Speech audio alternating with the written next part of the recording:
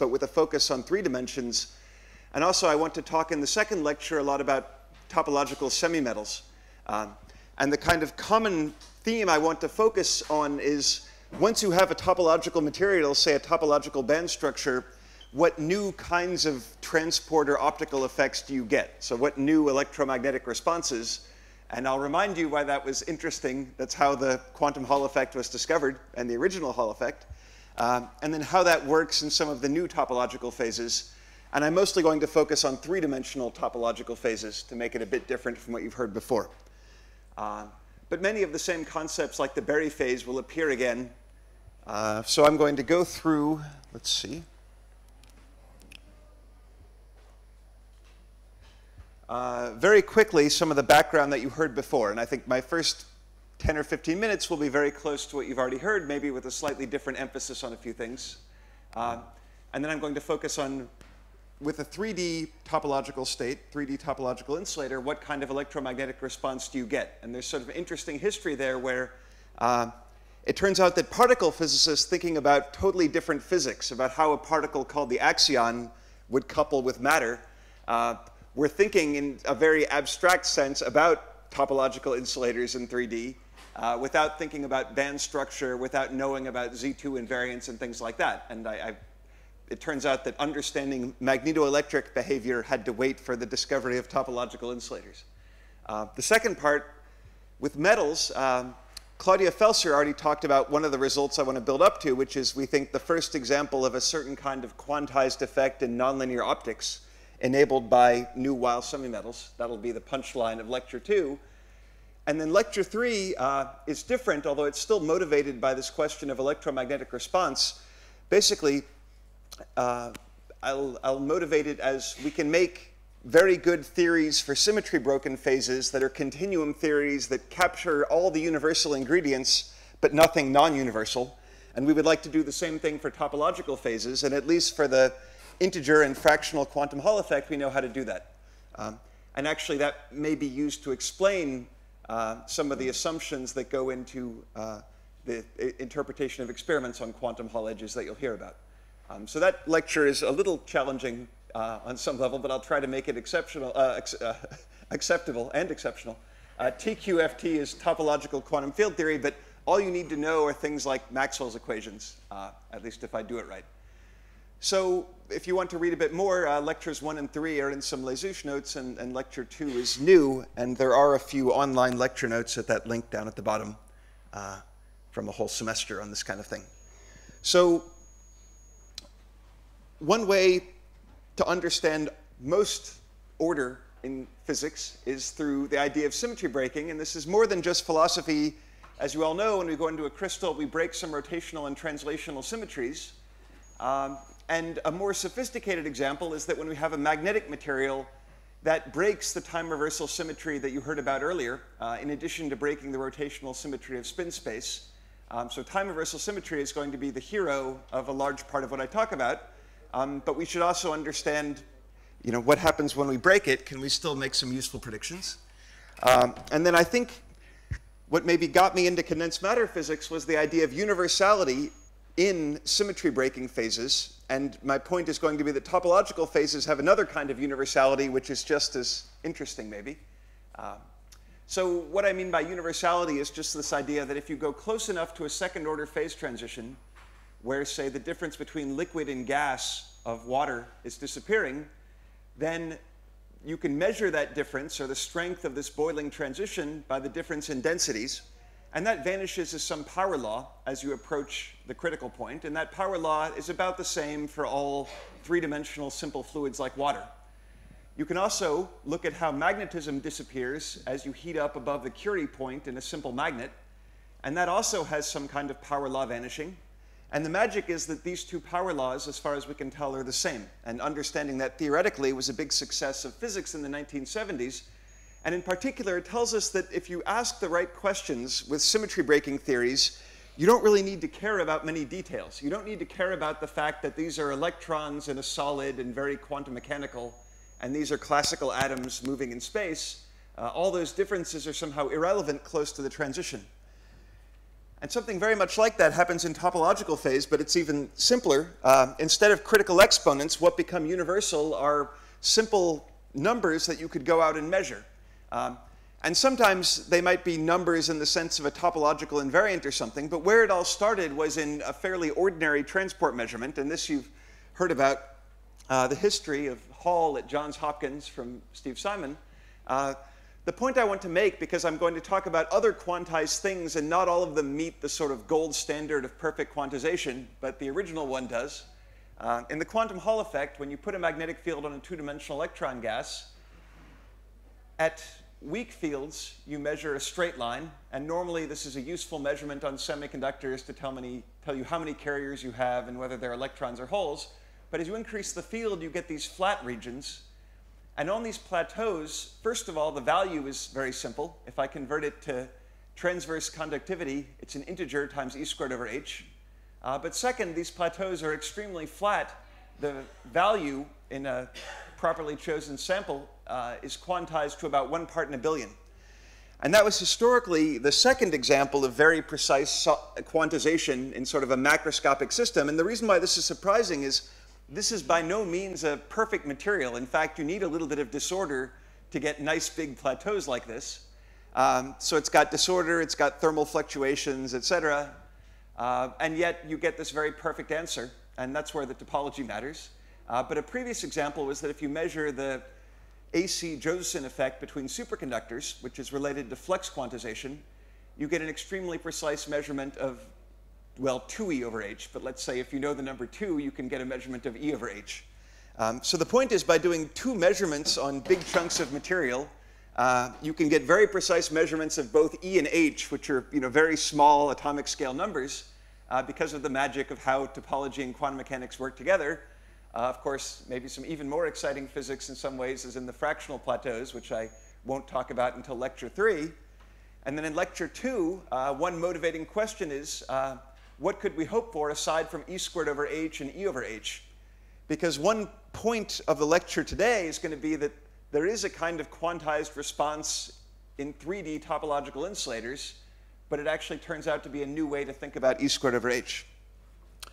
But first, let me build up a bit. So, uh, as motivation for thinking about the Berry phase, uh, one of the common ways that topology emerges in physics is that geometry emerges all the time in physics. And if you have some geometrical object like a curvature, and maybe you integrate it over an entire surface or entire closed manifold, then something magical can happen. And the famous example is the Gauss-Bonnet theorem, which is pictured here. So if I take a two-dimensional surface in three-dimensional space, then at any point there are two perpendicular radii of curvature, and we define the Gaussian curvature as 1 over their product with a sign, where positive Gaussian curvature means something like the sphere where both curvatures are toward me or both are away from me, they have the same sense, and negative curvature is like the hyperboloid. And then the magic is when I integrate the curvature over the whole manifold, um, I get something in our language that is quantized or a topological invariant. So for example, the curvature of the sphere is 1 over r squared. The surface area is 4 pi r squared. So the integral of curvature over the surface is 4 pi.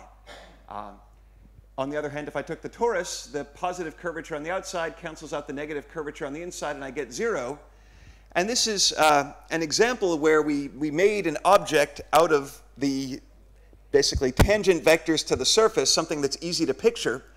But we can do the same thing with a different kind of vector, which is the complex vectors that exist in Hilbert space, where the surface is different values of a parameter. And that's really where the Berry phase comes in. But first, uh, I'm going to go through this much more quickly than I normally would because it, it in almost every detail is what you heard yesterday. Uh, but very briefly, um, we're going to be thinking about, until the end of this lecture, when I talk about disorder a bit, we're going to be thinking about just Bloch states. So plane wave times a piece within the unit cell, and the piece within the unit cell is the hero of the story. Uh, it turns out that the fact that electrons have non-trivial k-dependent wave functions inside the unit cell is what makes materials interesting in this topological way. The only thing maybe to keep in mind about the plane wave part is that when you're in a crystal, momentum doesn't range over all of d-dimensional real space. It is basically periodic. It lives on the Brillouin zone, which for us is a torus. Whatever the shape of your favorite Brillouin zone is, topologically it's a d-dimensional torus. So that's going to be the surface that we integrate things over. Uh, and then the curvature is going to come out of the Berry phase. And here, as you heard before, uh, I want to focus on just one aspect of this because I think you heard uh, the basic story of it, uh, which is that if you take a system adiabatically in parameter space with a non-degenerate eigenstate around a closed path, and you come back to where you started, you build up a phase, and we write that phase as the integral of a object, the Berry connection, um, but we use the same symbol that we do for the vector potential in electromagnetism. And that's for a reason, because this is really a U1 connection, uh, just like in electromagnetism. And one point of these lectures is to keep all the different gauge fields straight. So you're all used to ordinary electromagnetism, like Maxwell's equations. So those, when I write them, won't have scripts. The Berry gauge fields can be either abelian or non-abelian, and I want to stress the non-abelian one in a slide or two because actually that's the one that matters for the magnetoelectric effect, which is the answer to the question of what is quantized in the 3D topological insulator, at least what is the electromagnetic response that is quantized. So let me focus on in what sense this is like a gauge field. So just to remind you, if I've got a non-degenerate state at every point of parameter space, uh, I just take a derivative for how things are changing with respect to parameter. And of course, it gets subtle into whether I can choose wave functions that are well defined over the whole space. Uh, you already heard a bit about that subtlety, so let me not say more. Um, the reason why we think of this like a gauge field is just the only ambiguity in a non-degenerate state is that you and I might disagree on the phase. And we might disagree on the phase of the state in a way that depends on momentum. And if we do that, then we will get different values of this Berry connection. They'll differ by a gradient of the phase, just like in electrodynamics. Uh, but there are some things that we will agree on. We'll agree on the curl of A, which is the Berry curvature. Uh, we will almost agree on loop integrals of A. If it's a loop integral around a non-contractible loop, like a loop that goes through the 1D Brillouin zone, then you heard that it's almost gauge invariant, but it has an ambiguity by an integer, which is why the polarization has an ambiguity of an integer times charge. Now, how does non-abelianness come in? Well, a lot of times in solids, we either have degenerate bands, so we might have n degenerate bands, and it wouldn't make sense to focus on one, or even if we've got non-degenerate bands, if they're all below the Fermi level, then for many physical quantities, it turns out that energy differences between occupied bands don't actually matter very much. And then the freedom I have is not just a phase change. If you and I are both thinking about the same three-dimensional, say, subspace in quantum mechanics, we might disagree by any unitary three by three matrix, which means that when I make this object with band indices, it's now a U3 connection. It's like something you would see in quantum chromodynamics, roughly, uh, but it's still just the same object. It's just that now I have band indices. But now the quote-unquote gauge invariance is some non-abelian group. Um, so you might think this is just mathematical playing around, but I promise it will turn out to be useful a bit later. So that's how any solid with multiple bands might have non-abelian Berry phases floating around in it. Uh, this is the same example, and I also agree that it's worth working through of how to get a Berry phase, first of all, by just thinking about a spin moving in a time-varying magnetic field. Um, so enough on that. Uh, and then the, the first use of this kind of topology in physics uh, so in condensed matter physics, I think uh, the analysis of topological defects was really the first big use of topology. That was maybe in the 70s, uh, vortices and skyrmions and things like that. But the first use for electronic structure was this famous Thouless et al. paper, uh, where the point is, how do you understand the quantum Hall effect uh, if you don't want to be as, I don't know, forward thinking or clever as Laughlin? So Laughlin came up with a new kind of transport, where normally we think about transport in a solid as the electronic states are fixed and electrons move from one state to another. The occupancies change. The point of Laughlin's pumping transport, the reason why that is quite a new idea, is that actually the reason why that's dissipationless is that electrons are not hopping in and out of states. Instead, the states are just moving as the flux gets pumped. So that is a pretty amazing idea.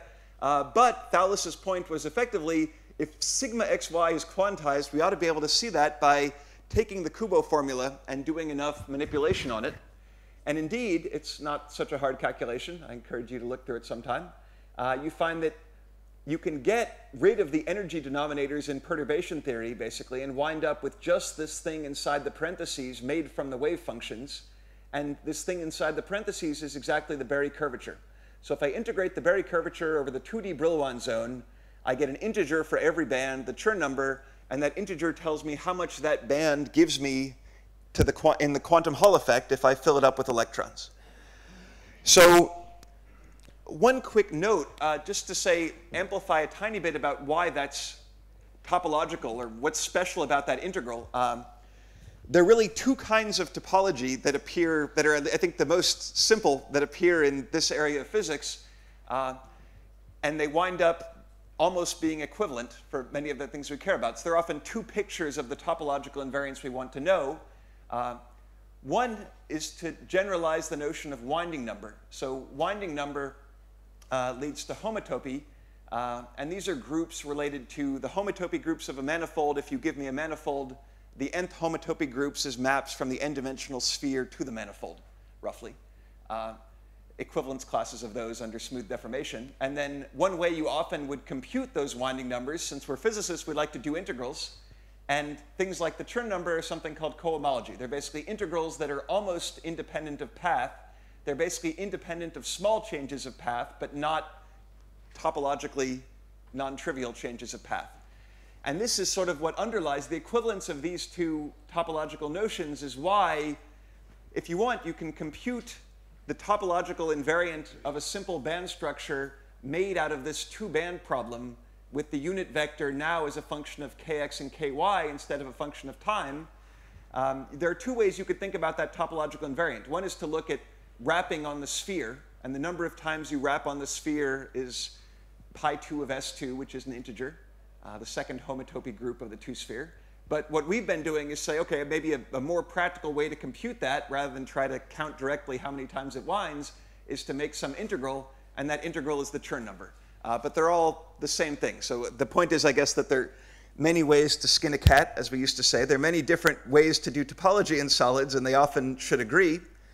Uh, and in particular, the Berry phase, the reason why I think several of your lectures are focusing on that rather than the various other ways to present topological invariance is that first of all, it's been tremendously useful historically. And second, it's not just useful for finding new topological phases and new topological invariants. It often tells you just about ordinary measurable quantities like the electrical polarization. Um, so the newish things that I want to talk about uh, in the second lecture mostly related to metals. Um, but the main subject for today, once I talk a little bit about the 3D topological insulators, uh, is going to be something that's very much like electrical polarization, except it's naturally three-dimensional instead of one-dimensional. It's naturally non-abelian instead of abelian, and it is a magnetoelectric effect rather than a polarization. Um, but it turns out, just like with polarization, um, there was kind of an old problem that people maybe knew a little bit was a problem about how to compute something, and then the Berry phase turned out to be the answer to what's going on. So I'm going to flash through the two-dimensional Z2 topological insulator because you've heard about that a bit, and then explain quickly how you can generalize that to 3D. And one reason for doing that is uh, once we do the band structure way quickly, uh, which is building on what you heard yesterday, uh, I want to give two other ways to think about it. One is uh, so far, except for looking at the edge, we haven't talked much about what's quantized from these Z2 topological invariants. Uh, and then second, I, I, want to talk a little bit later about uh, a picture involving disorder. Um, but for now, uh, the basic idea of the newish topological insulators discovered starting around 2005 uh, is that again, there's a topological invariant, and again, it leads to some kind of edge or surface state, which is a good way to discover these. Um, but what drives the phase, what dimensionality they exist in, and how you see them experimentally can all be different from the quantum Hall effect. Um, so as you've learned, uh, the original way to understand the quantum Hall effect that you find in many textbooks is in terms of Landau levels and so on. But if you want to work through that in a crystal lattice, you can use these Bloch wave functions and Chern numbers. Uh, and working on the lattice is very ideal for spin-orbit coupling in a crystal because spin-orbit coupling is not particularly uniform. It has structure on the unit cell, et cetera. Uh, so this Thouless picture was, I think, regarded as beautiful, but not telling you so much new stuff uh, until 2005 or so when it really came into its full glory. So a quick picture of the, where the topological insulators are coming from microscopically is just to think about spin-orbit coupling of the form L dot S, like you learn in atomic physics, where L is orbital angular momentum and S is spin angular momentum.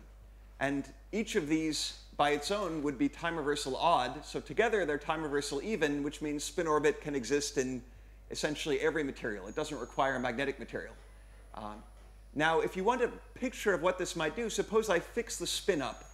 Uh, well, then this is like R cross P, the L. So that's like a momentum dependent force, which is a bit like a magnetic field, except this should be like a magnetic field that is one way for spin up and one way for spin down.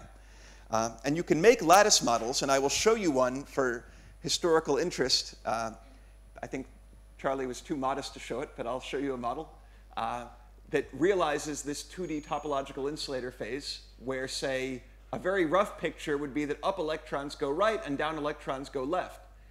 Now, people had that rough picture, uh, but no one really believed it until 2005 because basically at first glance this looks like a, an edge that's a one-dimensional quantum wire and Anderson told us a long time ago that one-dimensional quantum wires would localize under disorder.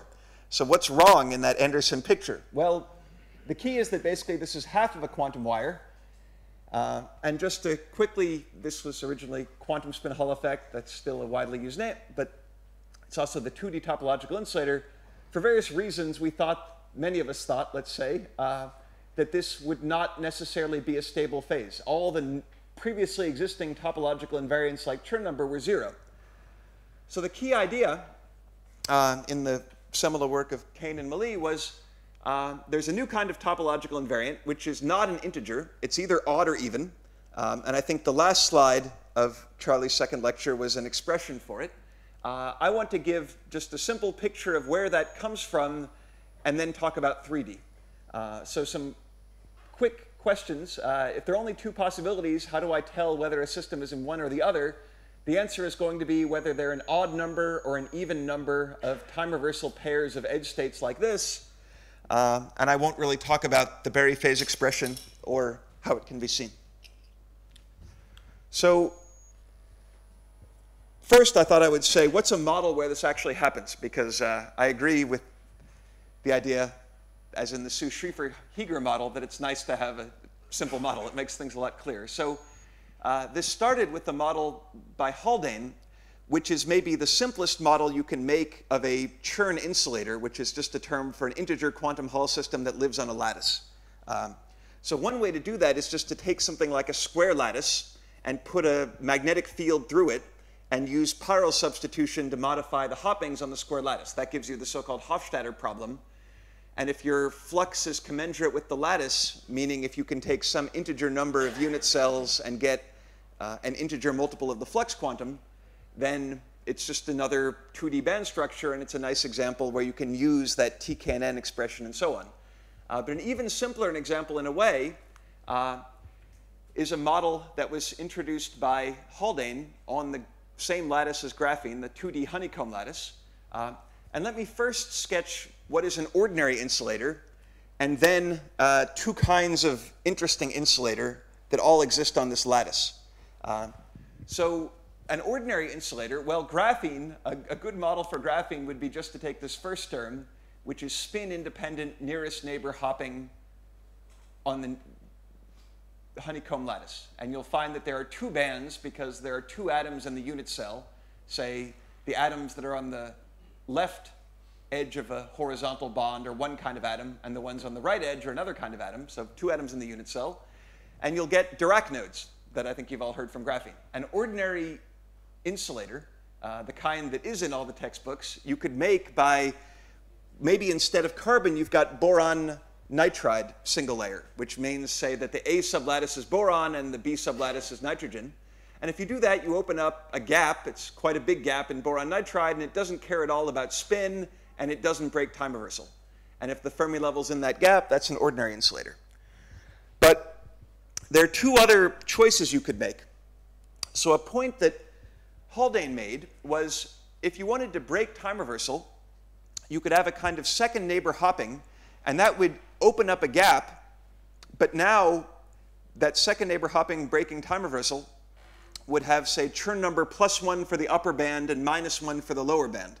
Uh, it turns out that in any tight binding model, all the Chern numbers have to add up to zero for topological reasons. So that's a very simple two-band model that has an integer quantum Hall state. And the reason why Haldane was excited about it was that its overall magnetic field was zero. It still breaks time reversal, but kind of like an antiferromagnet. It's got just as much upflux as downflux, maybe. Um, now, one, I think, where uh, the understanding of Z2 invariance started was to take two copies of the Haldane model. Uh, this is the term that Haldane added, but with an extra power of spin in here.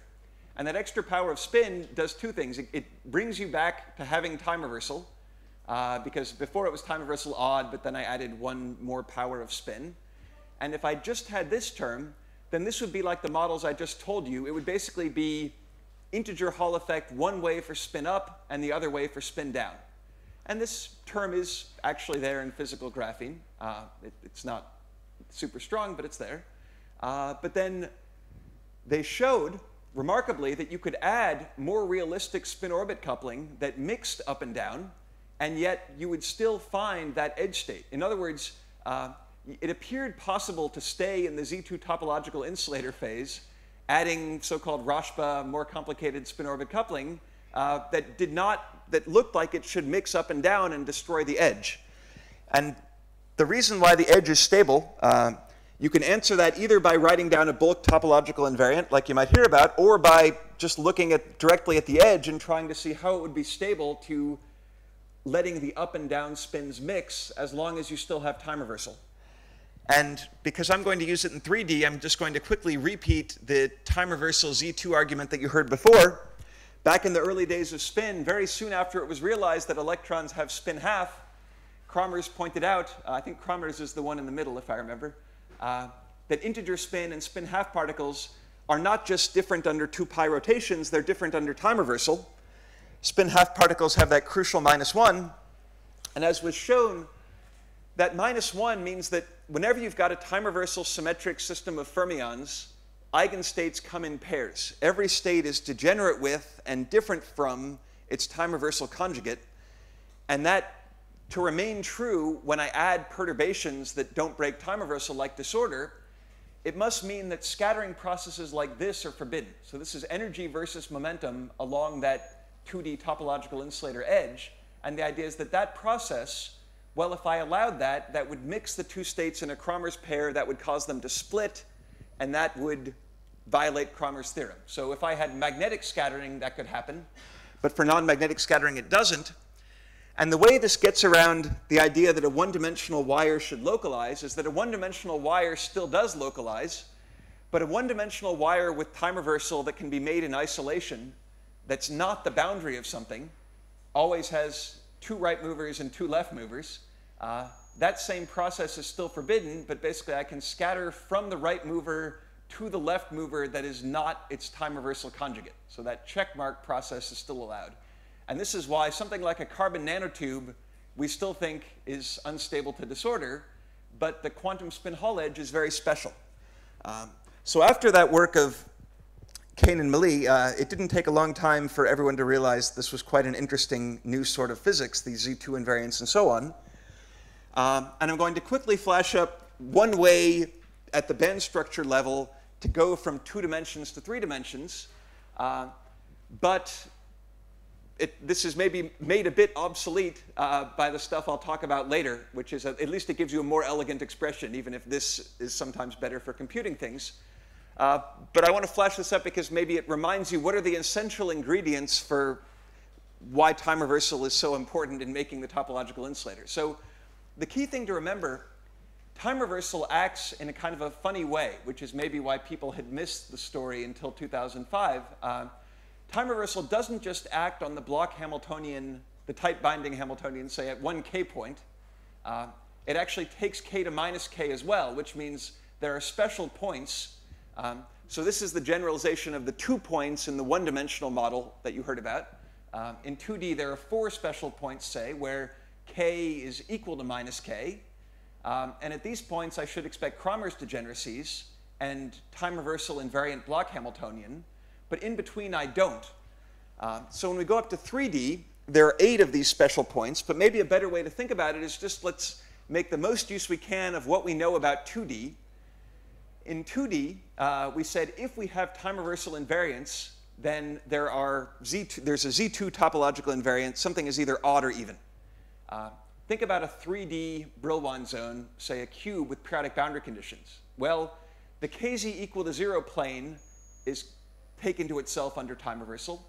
The kz equal to pi by a plane is taken to minus pi by a under time reversal, uh, but those are actually the same thing because the periodic boundary conditions, which means that middle plane and this top-bottom plane, I should be able to assign a Z2 invariant. Um, and one simple case would be I could make a so-called weak topological insulator by layering a bunch of two-dimensional topological insulators. But this is why there's a new possibility in 3D, because I could actually be, say, topological in this plane and ordinary in that plane, because in between, time reversal is not restrictive. The planes in between do not have as much symmetry as the middle plane.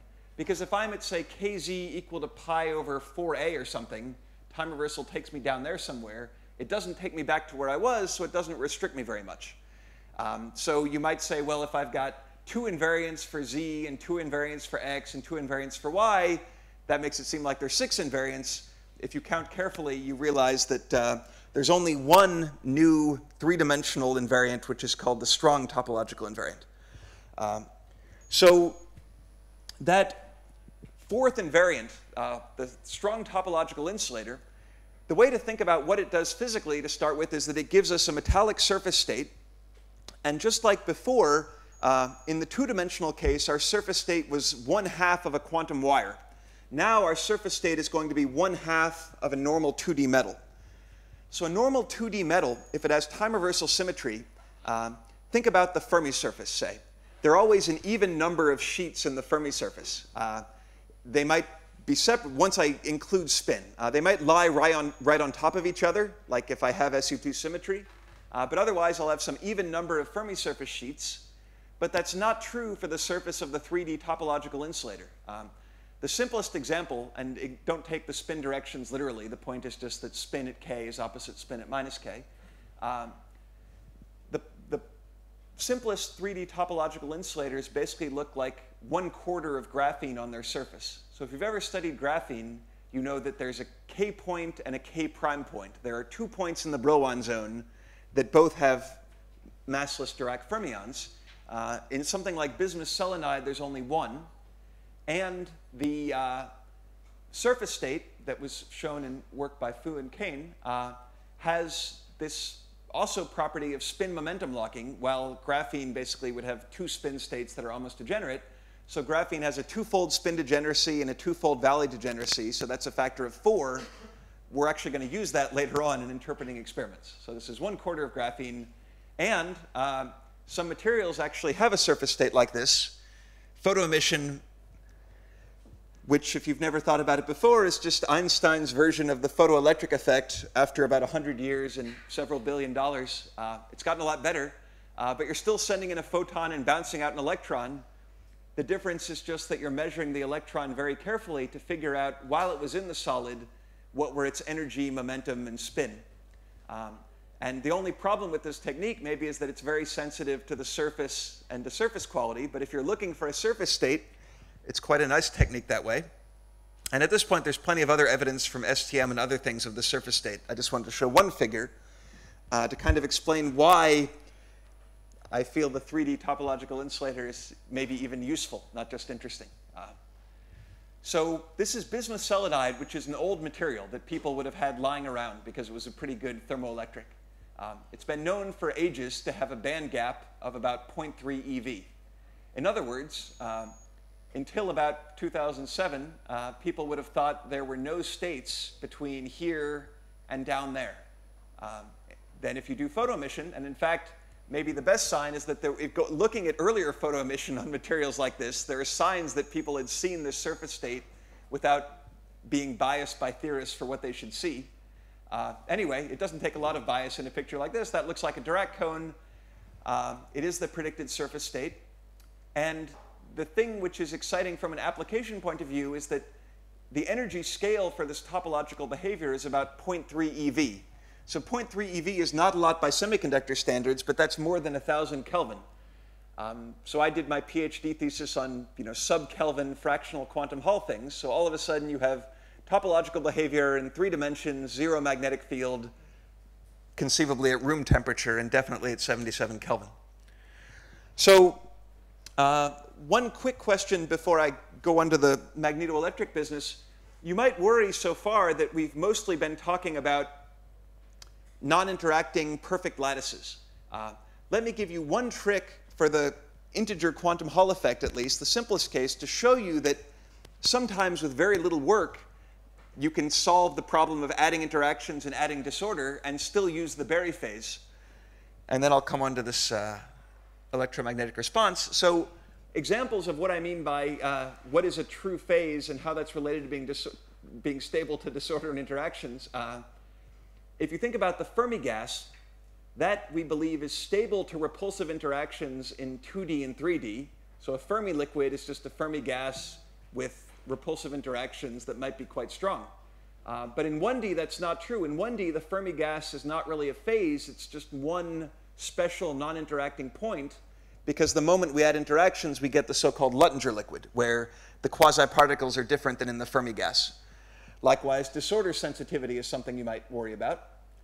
Um, so the integer quantum Hall effect, here is uh, the so-called flux trick, in case anyone ever bugs you about why you know, maybe topological phases don't work with interactions and disorder. So the idea is just to reinterpret the same integral. So this was the integral that gave me the t, k, integer written as an expression involving band structure. So a different way to think about it is instead of thinking about these one electron wave functions, think about the many electron wave function phi naught. And now, instead of how that depends on momentum, I want to think about basically putting the system on a torus and having magnetic fluxes through the two inequivalent circles of the torus. That's what phi and theta are. They're the fluxes. Um, but it turns out that for a non-interacting problem, a little exercise would be to take this expression, assume that phi naught is a Slater determinant, and show that this exactly reduces to the sum over bands of the one electron topological invariant. But the point is that to define this, all you need to know is how the many-body wave function depends on fluxes. And if it winds the right way, then you're in the integer quantum Hall state. Uh, unfortunately, it's not as easy to do this for things like the Z2 topological invariance and so on. And that was one motivation historically for what I'm going to tell you, which is the magnetoelectric effect. Uh, so I want to try to answer the question of in one kind of Z2 topological insulator, um, if I didn't want to think directly about the edge, and if I didn't want to count bands, uh, is there an electromagnetic response that's quantized in the way that sigma xy is quantized in the quantum Hall effect?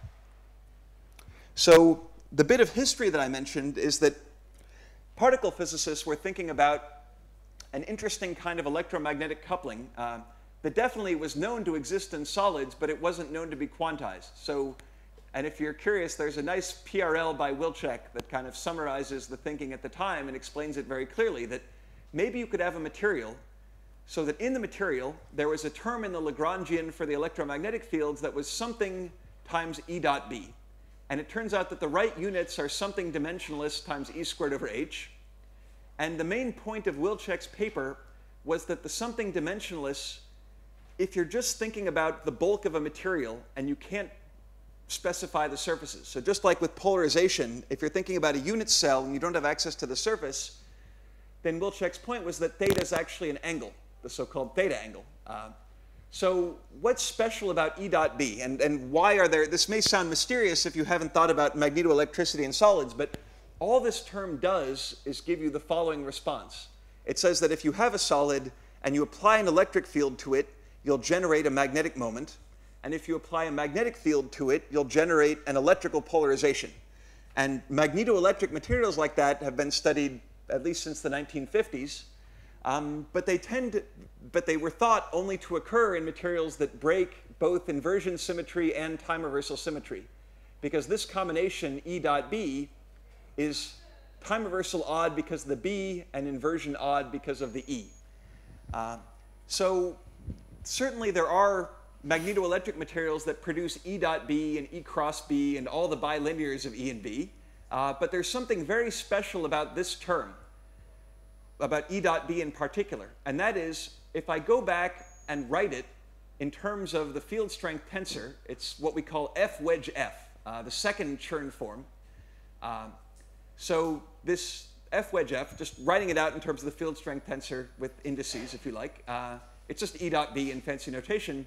But this is the total derivative of something, which E cross B would not be. So there's something special about E dot B suggesting that maybe it's topological or maybe it's a boundary effect because it is a total derivative. It's a total derivative of A partial A, uh, which is called the Chern-Simons term of electromagnetism. So anyway, if you can believe that theta is an angle, and I'm going to give you a condensed matter argument for why theta should be thought of as an angle if you only have the bulk, uh, then something magic happens because, as you've already heard uh, in the context of polarization, if you've got something that is periodic and odd under a symmetry, then boom, you've got a Z2 invariant by the following logic. Think about, you know, I think Charlie said it in terms of integers. Let me say it in terms of angles. Um, so suppose I've got an angle, which means something that's periodic with period 2 pi. If I apply time reversal, then theta goes to minus theta. So which angles are equal to minus themselves? Well, 0 is equal to minus 0. That's true. That's the easy one. Uh, the tricky one is that pi is equal to minus pi. So ultimately, the point of Wilczek's paper, which I want to explain so it doesn't sound so crazy, is that all insulators with time reversal invariant should be either theta equal to 0 insulators or theta equal to pi insulators. And basically, he was right um, and those are the ordinary and topological 3D insulators. Um, and let me draw a picture for why that's true. Because so far, I gave you a very different definition of what a 3D topological insulator is. I said it's something that has an odd number of Dirac fermions at the surface. In particular, it's got a metal surface. In general, if you want to measure magnetoelectricity, for example, if you want to measure a polarization, you'd better have a gap system. So to measure this, what you do is you add a small time reversal breaking perturbation, like a weak magnetic field, that will gap the surfaces. And we'd expect, since the surfaces are two-dimensional metals, that will put them into some kind of quantum Hall state. Let's assume integer quantum Hall state. Uh, so now I can give one picture for why theta might be like an angle. So suppose for the moment that theta is zero. So I've just got an ordinary insulator. It had some surface. Uh, and what kind of surfaces could I have if I keep the bulk the same? Well, I could have a boring insulator at the surface, which would be sigma xy equal to zero. But I could also imagine stapling integer quantum Hall layers onto the surface without modifying the bulk. And that sounds bizarre, but that's just the equivalent in higher dimensions of adding charges at the surface to modify the polarization, where I could only add integer charges. So anyway, if I were to do that, I could add some integer n here and some integer m there, and I would shift the surfaces by some multiple of e squared over h. And now uh, we can answer the question of what does it mean to say that theta might be a surface property or that E dot B might be a surface property? Well, I said this is a total derivative of something. It turns out it's a total derivative of surface Hall effect. So imagine I've got a system where the surfaces are in a quantum Hall state. I apply electric field. That gives me some currents that run around the sample, and those produce a magnetic field. So in other words, to say a system has bulk E dot B is not at all different from saying that it has surface quantum Hall layers, and all that theta controls, it's just like the polarization, it controls an offset at the surface.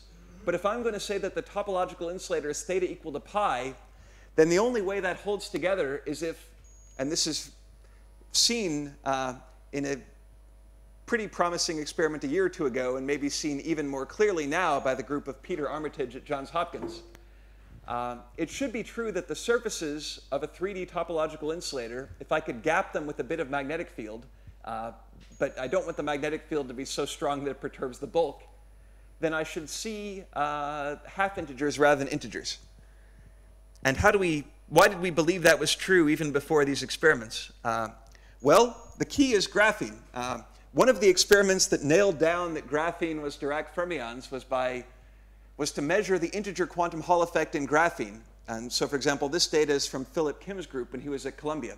So normally, if you measure integer quantum Hall in a 2D semiconductor, you see 0, 1, 2, 3, 4 times e squared over h. What if you do it in graphene? Uh, well, these bottom data, I don't know if you can see it in the back, so I'll tell you the numbers. Uh, instead of seeing plateaus at every integer times e squared over h, at least with weak interactions, you see plateaus at numbers like minus 10, minus 6, minus 2, 2, 6, 10. Um, so you've got both positive and negative numbers, which makes sense because graphene is particle hole symmetric. Uh, but the main point is the jumps are by 4, and these numbers are 4 times the half integers. So that's why we believe this. I take this as experimental evidence that if you just had one Dirac fermion, you would actually have half integers, and that corresponds to theta equal to pi.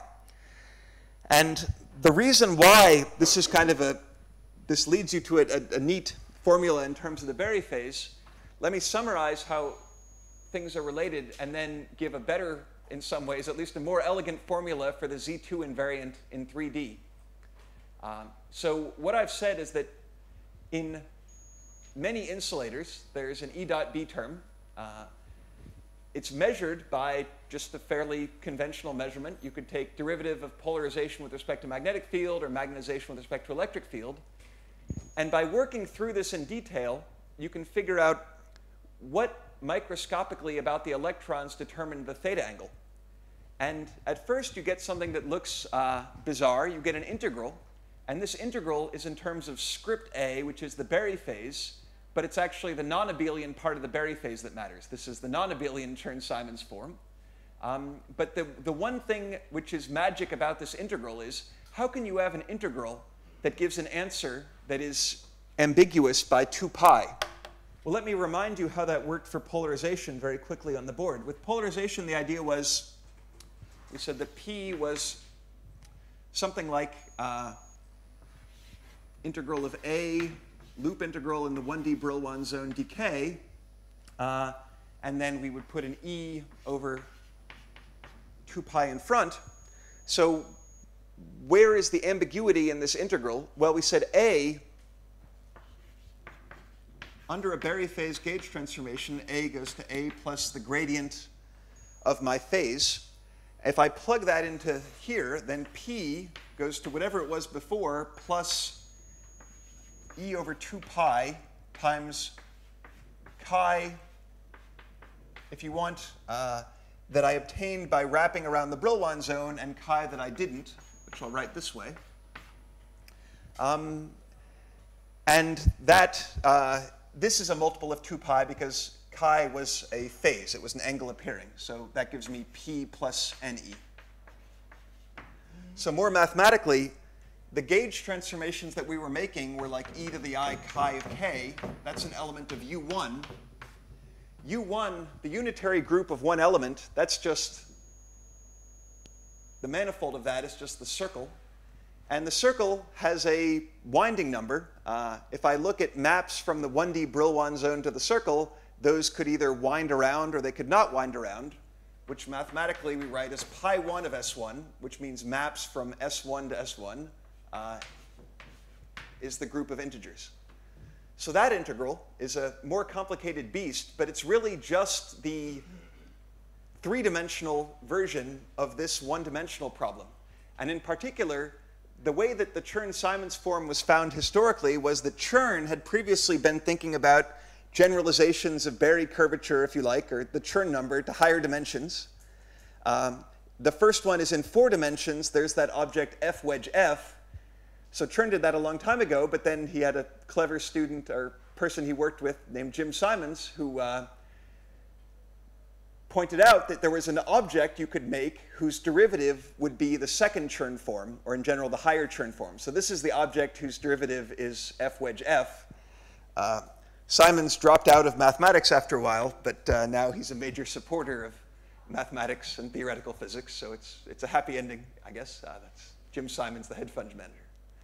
Okay, so that's uh, the, a use of the non-abelian Berry connection. And now, just like with polarization, something that might not have been clear because we were talking about uh, I'm going to skip that in the interest of time. Um, you know, polarization is useful to think about a simple example of topological phases in 1D, but it's also true that the Berry phase is the way people now in the materials community go out and compute polarization for all kinds of things that are not topological. It's just the standard way to compute polarization of a crystal. Uh, that's also going to be true for that magnetoelectric quantity, that it's a piece of the magnetoelectric effect in everything that has a magnetoelectric effect. But first, let me sketch why uh, maybe people could have guessed beforehand that there was something special about the change in polarization under a magnetic field and that maybe it would be a very universal object. Uh, in fact, this is what I meant before when I said that E squared over H is always the hero uh, until, until my next lecture. Um, so E squared over H, well, okay, we've already learned that polarization has a quantum or an ambiguity. And in 1D, that quantum is just E. In higher dimensions, uh, well, think about the surface of a material, and the physical meaning of that ambiguity is that I can add one charge per unit cell at the surface, which corresponds, since polarization units are surface charge density, to a charge per transverse unit cell area, omega, uh, which is something horrible and lattice dependent. So we want to get rid of that. Well, how can we get rid of that? Well, one way is to ask uh, what is the magnetic flux quantum in a crystal, which means what is the magnetic field I can put through a unit cell and still have a unit cell? Well, that's one flux quantum per unit cell, and this ratio is exactly e squared over h. And it turns out nothing in this argument is non-interacting, so you can sort of use this to give a many-body version of the magnetoelectric polarizability argument. Um, but that's why e squared over h uh, means something in every dimension. It's your contact resistance in 0D or your quantum wire in, I mean, it's units of a conductance, but you get what I mean, in, in 1D. Uh, it's Hall conductance in 2D, and it's magnetoelectric quantum in 3D. Um, so in general, if you go back and ask about other materials, uh, anyone here who works on magnetoelectrics will know that there's some big tensor, and so far I've only been discussing the E dot B part, which is like the diagonal part, the scalar diagonal part of this tensor. And it turns out that with a lot of work, you can figure out the full magnetoelectric effect. Um, so I put up these equations just to show that we do work for a living, and life is not always easy and topological and just a simple integer. But let me explain how the magic part, which is the Chern-Simons part, uh, is always there but becomes special if I add some symmetries. So this ordinary part, it looks like a mess, but basically all it is is what you'd expect from a Kubo formula for a magnetoelectric effect. It's got something related to electric dipole and something related to magnetic dipole and an energy denominator and then a bunch of little corrections. Um, so this is what you'd expect.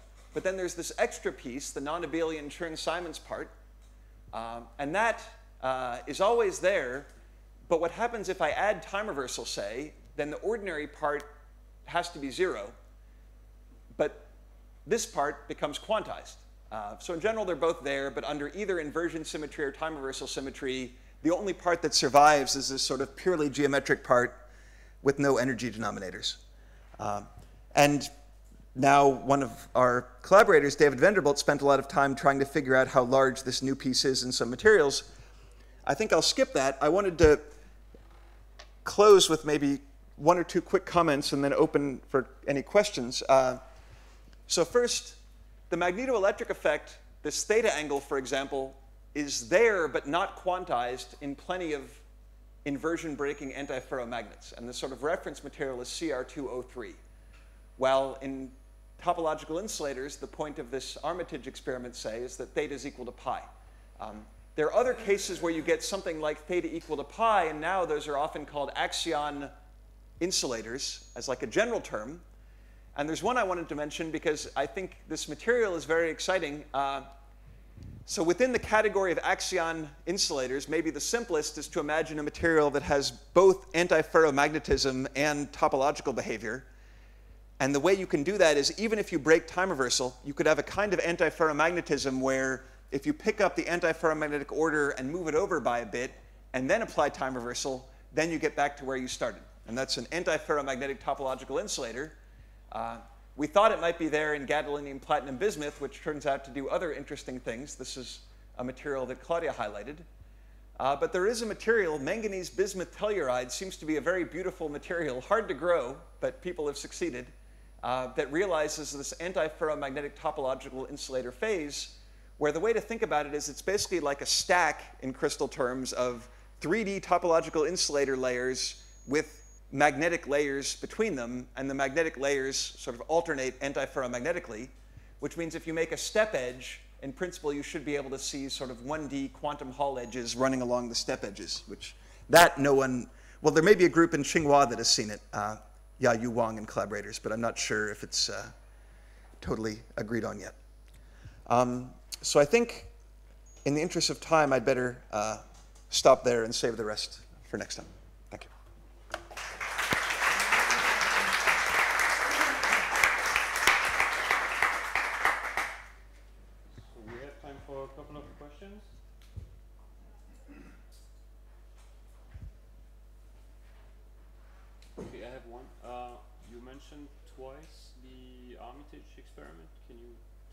Yeah, I can tell you there's an original version and then a new version that I saw in a talk, but I don't think is published yet. So uh, the idea is, and uh, this is a nice example of maybe optics adds something, uh, which I'll come back to later. Uh, so 90% or more of electromagnetic responses and topological phases have been measured with transport. This is an experiment using terahertz optics, where the basic idea is we believe there's a 3D topological insulator. Uh, it's in a magnetic field, so the idea is that if that theory is right, then we should have some uh, sigma xy is some half integer here, let's say 5 halves e squared over h, and maybe 3 halves e squared over h down here. Uh, now the problem is if you measure transport, normal transport tends to be dominated by the edge, and the, these basically come together at the edge of the sample, and you measure them in combination. So in transport, you would measure an integer Hall effect. Uh, the idea of being able to do time domain optics is that you can come in with light and see the two surfaces uh, and basically measure them more independently than you can with DC transport. And the claim, so there's a science paper uh, and then more recently, they think they have a better way to sort of independently measure the two surfaces. Uh, but the claim is that by not being at zero frequency, so by not being in the usual topological limit, uh, you can imagine, for example, that if this were very thick, maybe your light would come in and never make it to the other surface. Um, what you're measuring, to measure sigma xy in optics, uh, that's, that gives you the so-called Faraday effect. Uh, it means that if you start with linearly polarized light, then as it passes through this edge, uh, it gets rotated by some angle. So you're measuring the so-called Hall angle. And they can see in their data very beautifully uh, plateaus of that Hall angle. And then what they had to kind of argue in the original paper, and what I think they have additional evidence for now, is that the plateaus in the Hall angle uh, can only be explained by two spatially separated contributions. Um, so it's effectively, if you like, using terahertz optics to try to separate the contributions from the top and bottom of a topological insulator when it's in a magnetic field and overall in a quantum Hall phase.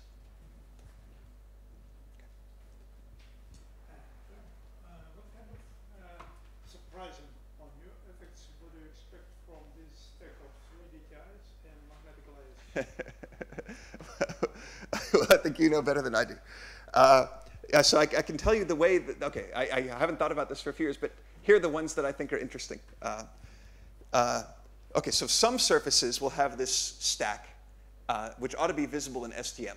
And other surfaces will have the more conventional Dirac-like surface.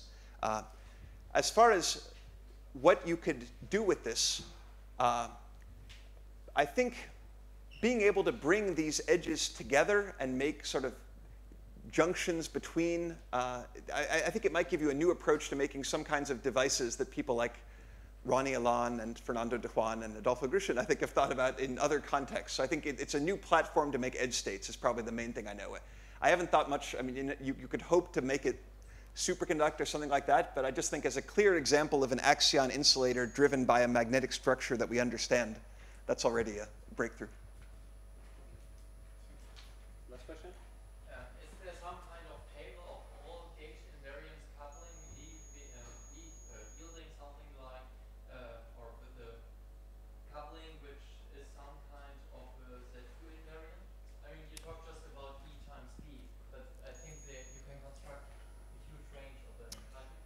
Um, yes, but I think in general, uh, there is progress. So let me state the question one way. Uh, if you look at the tenfold way, um, so uh, there are, there's a belief that if we don't worry about crystalline symmetries, which are complicated, so if we just think about uh, time reversal symmetry and chiral symmetry like in superconductors, then there are basically 10 classes of symmetries. And in every dimension, five of those have a topological invariant, uh, some z and some z2. And you can ask which of those have some kind of interpretation as a response. Um, so we wrote a paper with a partial answer, and then it was uh, completed by a smart person named Edward Witten. Uh, so the part that you know you can understand, that I can understand, say, are things like electromagnetic responses. So we could say, well, these invariants in these dimensions, including many of the Z2 invariants, have an electromagnetic response, but some of them did not. So at least at the time that we were working on it, and this was with uh, Shinsei Ryu and Andreas Ludwig, there were some where we could not recognize any electromagnetic uh, so-called anomaly that would explain what was going on. Um, so what was left? Well, maybe some kind of gravitational anomaly. Uh, and then what, uh, but we, had, we didn't know how that would work. And then there's a like 100-page paper by Witten explaining how that works. So not everything has an electromagnetic interpretation, but it seems like at least everything in the tenfold way in high enough dimension, I mean, zero D is a little special, uh, but in high enough dimension has either a electromagnetic or gravitational interpretation. Okay, so let's uh, thank Joel again.